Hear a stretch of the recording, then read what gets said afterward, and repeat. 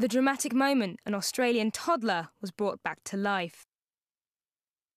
This CCTV footage from a supermarket in Perth captures a heroic shopper saving a little girl's life.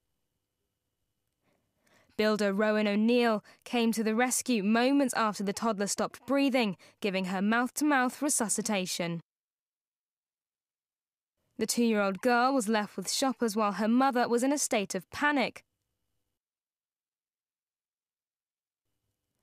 The girl's hysterical father runs in the store to try and save his daughter's life. Customers gather together, turn the toddler upside down, pat her on the back, and try the Heimlich maneuver before clearing a counter of shopping bags to give her CPR. After 90 seconds, the little girl opens her eyes as her father and saviour hug in relief.